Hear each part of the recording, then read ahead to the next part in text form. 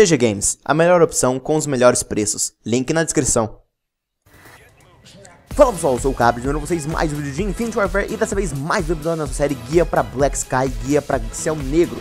Essa série aqui consiste em dar dicas para vocês das camuflagens, falar detalhe por detalhe, desafio por desafio de todas as armas, tentando aí facilitar um pouco o seu caminho para você que tá buscando aí também todas as camuflagens douradas do jogo e aí pegar a camuflagem solar e em seguida a camuflagem Black Sky, que se chama Céu Negro em português. Essa série consiste aí em analisar todas as classes e todas as camuflagens, eu vou estar tá dando uma dica especial que eu utilizei para poder pegar a camuflagem com mais facilidade e eu espero ajudar vocês. Já teve um episódio dessa série no lançador Spartan, o Launcher Spartan, o primeiro launcher do jogo e vai estar tá aparecendo um cardzinho aí no canto direito superior se você não viu ainda. Nesse vídeo eu resolvi aí analisar e dar dicas para vocês do terceiro launcher, o Hauser. Acabei pulando aí o segundo, que é o Pelol, porque o Hauser, na minha opinião, é a arma mais difícil de você pegar ouro no, nesse jogo, no Call of Duty Infinite Warfare. Então eu resolvi já adiantar ele para poder dar dicas para vocês, porque é bem difícil, então eu espero poder ajudar vocês. Então vamos aqui, como de costume, tô aqui na tela do jogo, analisar camuflagem por camuflagem para vocês, e aí dar minhas dicas. Primeiro a gente tem um conjunto dessas quatro primeiras camuflagens até a camuflagem selva, que você precisa pegar apenas 200 baixas, 200 kills com essa arma. Isso aqui não tem muito segredo, esse launcher aqui ele era bem ruim, o Hauser ele era bem ruim mesmo. Eles deram aí uma bufadinha, melhoraram um pouco, agora ele tá um pouco mais usável, mas ainda assim você vai ter um pouco de problema para matar com ele. Então a minha dica é você jogar o modo extremo. O modo extremo é o modo hardcore em inglês. Você pode vir aqui normalmente em buscar partida e clicar aqui para os lados, você vai ver aqui extremo, mata-mata equipe, dominação, Qualquer um desses aqui já vai estar tá ajudando porque é o modo extremo. Para você que não conhece o modo extremo, basicamente os inimigos e você tem menos vida. Então esse launcher ele sempre vai matar com um tiro lá. Nunca vai dar hitmarker, nunca vai deixar o inimigo apenas ferido, sempre vai matá-lo. Então essa é minha dica para vocês pegar as 200 baixas. Você pode pegar no modo normal também, mas você vai sofrer um pouco mais. Feito isso, você vai começar a liberar os outros desafios, que é aí que vem a dificuldade, é essa a razão para tornar essa arma tão difícil. Vocês estão vendo aqui que você precisa pegar um conjunto de um total de 160 baixas de impacto direto. O que, que, é isso, Capro? Bom, isso aqui é você tem que matar o inimigo atingindo diretamente o launcher nele. Você precisa que a bala, a granadeira, a, a granada que sai da granadeira tem que bater no inimigo, tem que ser realmente um impacto direto. Você tem que acertar nele. Você não pode acertar no chão, na parede e matar ele. Você tem que acertar diretamente nele. Vou estar mostrando aí de fundo para vocês alguns exemplos que eu fiz isso. E cara, isso aqui é a dificuldade, porque nem sempre você consegue, ainda mais num jogo futurista que tem pulos e tudo mais, você consegue acertar a bala diretamente no inimigo. Então é esse o grande problema. E são 160 baixas com impacto direto. A minha dica aqui para vocês é, são várias. Você tem várias alternativas para poder fazer isso. A primeira que é assim, você tem que fazer isso é jogar apenas com o Hauser. Eu vou estar tá falando aí pra vocês uma classe perfeita para usar ela, mas você tem que apenas usar ela, não usar a arma principal, sair andando com ela. Eu sei que seu KD vai baixar bastante, mas se você tá buscando aí camuflagens, sim, bem corrido, você quer acelerar o processo, você não pode ligar para teu KD, você vai ter que jogar apenas com o Hauser de arma. Porque fazendo isso, você sempre vai estar tá matando com ele, sempre matando com ele, e uma hora ou outra você vai dar um impacto direto. Se você ficar jogando ele só com uma secundária, você não vai estar tá matando sempre com ele, você vai estar tá matando com a arma primária, daí de vez em quando você troca pra, pra secundária e mata. Então vai ser bem mais raro os casos de você matar com o impacto direto. Então a minha dica é você apenas usar o Haunter, sem arma principal, sair andando com ele e matando e matando, que aí entre a cada umas 10 kills você acaba pegando uns 2, 3 impacto direto, quem sabe mais se você tiver já manjado do launcher. Então essa é a minha primeira dica. Segunda dica, você está jogando o modo extremo no modo dominação. O modo extremo, como eu falei pra vocês, porque é, as pessoas têm menos vida, então você sempre vai estar tá matando. E por que o dominação? E também junto com isso no modo extremo. Porque no dominação nós temos aí bandeiras para ser capturadas. Os inimigos se distraem bastante capturando elas e às vezes eles deitam na bandeira e nem estão olhando aí ao redor, eles apenas deitam e ficam olhando para frente. Então aí é a sua chance de estar tá flanqueando o inimigo e pegando ele pelas costas. Inimigos deitados são fácil, direto, impacto direto, então é muito, muito fácil. E no hardcore, no modo extremo, eles não têm o minimapa, além da vida baixa, não tem o minimapa. Então dificilmente ele vai saber que você tá vindo das costas dele. Então é muito fácil fazer assim. Eu peguei tudo assim, jogando apenas com o Hauser na mão e jogando o modo extremo dominação. E até que não foi assim tão difícil, cara. Foi assim, alguns dias jogando diretamente com isso, alguns estresse e tudo mais. Mas, cara, não foi tão fim do mundo assim. Eu consegui até que numa dificuldade fácil, não foi tão difícil quanto eu imaginei. Porque no hardcore tem muita gente que campera, tem muita gente que pega a bandeira sem nem ver para trás, então são várias oportunidades que você vai estar tá usando para poder flanquear o inimigo, pegar ele pelas costas, enquanto ele tá paradinho camperando, paradinho pegando a bandeira, você vai lá e acerta diretamente nele e conta aí mais um impacto direto.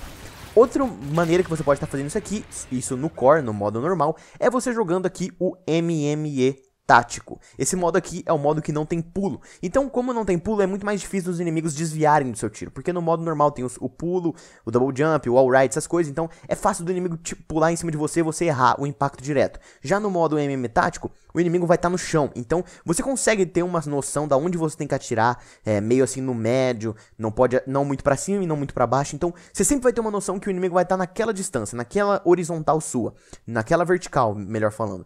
Enquanto nos modos normais, o cara cara pode pular, então ele pode estar um pouco acima de onde você está mirando, ou às vezes ele pode é, ir para os lados e tudo mais, ele tem uma movimentação mais é, frequente, assim, uma movimentação mais frenética. Então por isso que o MMA tático pode ser uma tática. Essa frase ficou estranha, mas na minha época, quando eu peguei o Launcher, o Hauser, quando eu peguei ele dourado, ouro, não tinha o MMA tático, então eu não posso afirmar para vocês se realmente é eficiente essa dica, mas eu acredito que seja, porque, como eu falei, não tem um pulo, então pode facilitar bastante. Então é isso, cara, essas são as dicas, já já eu falo a classe e também o módulo de combate que você tá usando para facilitar isso, mas vamos continuar aqui depois de você pegar o 160 impacto direto, assim que você vai pegar cada uma das camuflagens, você que não sabe, assim que você liberar a Mojave, libera o outono, assim que você liberar a pele de cobra, libera o Whiteout e por aí vai. Então, vamos aqui, outono. Obtenha duas baixas rápidas 5 vezes com essa arma. Bem fácil, tranquilo, é só você pegar double kill, matar dois caras aí numa curta, num curto espaço de tempo. Joga aí também o modo extremo se tiver com problema nisso. Você vai pegar os inimigos facilmente, porque é, um tiro vai matar provavelmente. Depois temos aqui, mate 50 inimigos sem uma arma principal. Se você fizer o que eu falei de pegar os impactos diretos jogando apenas com elas, vai completar isso aqui sem nem ver bem de boa também. Depois temos na Bengal aqui, destrua 15 séries de pontuação. E como esse vídeo aqui vai estar indo ao ar antes de acabar o Drop Zone, o Drop Zone acaba dia 27, eu recomendo muito pra vocês que se vocês já estão com esse desafio, vai jogar o modo Zona de Entrega. Vocês podem ver que ele tá aqui no destacado Zona de Entrega. Nesse modo aqui tem bastante killstreak e você vai conseguir bastante. Mas se você não tiver, se o modo já tiver acabado quando você estiver vendo esse vídeo, a minha dica é você sempre jogar com o perk Engenheiro equipado. Sempre use esse perk quando você estiver usando o Router e tiver com esse esse challenge, esse desafio aqui liberado. Porque sempre que você vê um, um Scarab inimigo, né, um Scarab no caso, sempre que você vê algum Vulture, você vai conseguir matar ele com o Launcher. É bem difícil acertar, mas é só assim. Eu até fiz uma série buscando essa última camuflagem. É bem na sorte mesmo, não tem muita dica. As sentinelas, elas, as sentriguns desse jogo, né, Shock Sentries que elas chamam, em português, deixa eu ver o nome aqui pra vocês, é a sentinela de choque, elas são três tiros pra você matar. Então a minha dica é, dê dois socos nela e depois dê o launch, acerta a granadeira nela. Sim, você vai estar tá matando ela e vai estar tá contando. Mas como eu falei, é bem sorte mesmo. Vai jogando normalmente e sempre deixa o engenheiro equipado quando você tiver esse desafio liberado. E continuando aqui, nós temos assassinado, que é mate 30 inimigos de longe. Esse aqui é um pouco difícil, eu demorei um pouco pra fazer, mas a dica é você também jogar modo extremo e dominação. Tem alguns lo locais que, sim, específicos pra você estar tá fazendo isso. Eu vou estar tá mostrando aí pra vocês de fundo o melhor que eu achei, que sempre tem gente, que é em Skydog. Você vai ficar em qualquer um dos dois lados, essa distância vai contar o tiro, de, é, matar o inimigo de longe. O problema desse desafio aqui é que ele não mostra quando você pega um tiro de longa distância. Ele não vai falar pra você, ele não vai ter uma medalha, não vai ter nada. Você apenas vai ver que vai estar tá contando.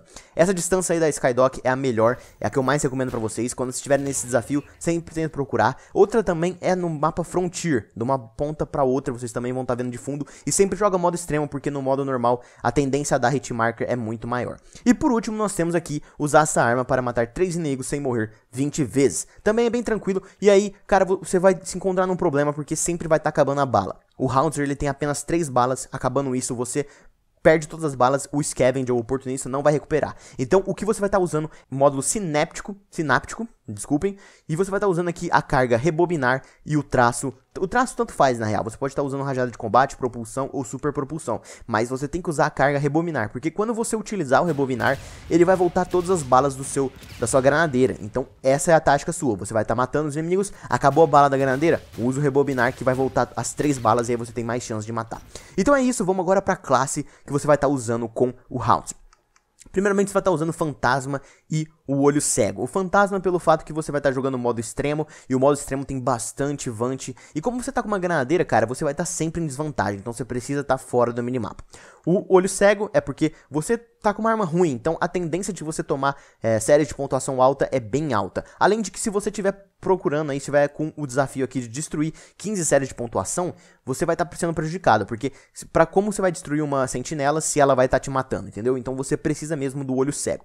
O segundo perk aqui que você pode estar tá usando é o rastreador. Rastreador aí ele mostra os passos do inimigo, então isso pode ajudar você a flanquear os inimigos, porque você sabe quando você vê as pegadas que tem algum inimigo escondido por ali. E por último de perk 3, você vai estar tá usando tem dois perks que você pode estar utilizando. Quando você estiver buscando aí os kill streaks, como eu falei, você vai estar usando o engenheiro, que é um perk muito bom. E quando você tiver assim, sentir a vontade, sentir que não precisa do engenheiro ou que o rastreador está sendo inútil para você, um bom perk aqui para você estar utilizando é o silêncio mortal, porque aí os inimigos não vão te ouvir. No modo extremo, as pessoas geralmente ouvem bastante os, os, os passos, então silenciar eles é uma boa opção. E você também vai estar tá usando aqui táticas, granada bloqueadora ou a granada blackout. São duas granadas que vão atordoar o inimigo, então ele vai ficar mais parado e você consegue acertar o impacto direto mais facilmente. Essas são minhas dicas e só complementando aqui, quando você estiver buscando as três kills sem morrer, o que eu mais recomendo você é tirar o engenheiro aqui, colocar aqui o rastreador e vir com essas duas stuns mesmo e usar aqui o rebobinar para ter certeza que você vai conseguir pegar essas 3 kills